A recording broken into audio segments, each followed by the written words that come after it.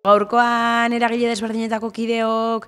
e, bildu gara hemen, e, guztion iruña, iruña parato, iruña parato das plataforma aurkezteko, e, bueno, duela hilabete batzuk biltzen hasi ginen, gu guztiok udalaren partetik e, ekimen desberdinak aurrera emateko baimenen debekua edo aldaketak jaso genituelako,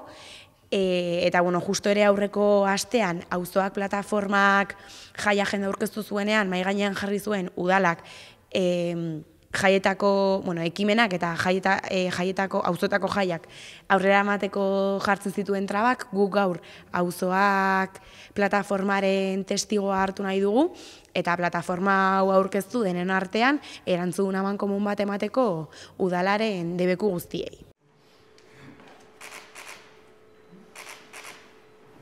Gaur bildugaren e, kolektiboak bakoitza bere esparrutik e, iruñaren eta hiri honen bizitasunean parte hartzen dugun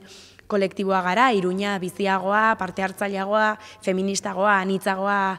e, anitzago baten gatik lan egiten dugun kolektiboa gara, eta ez dugu lertzen udalak e, guk proposatutako ekimenak debekatzea. Horren aurrean, e, debekuek aurrera jarritzen malima dute ez dugu deskartatzen e, mobilizazioak egitea,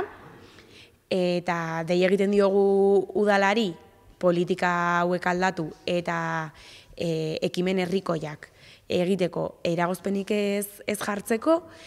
eta esan bezala horrela denak horrela jarrituz gero e, ikusiko dugu ea beharrezkoa den e, mobilizazioak egitea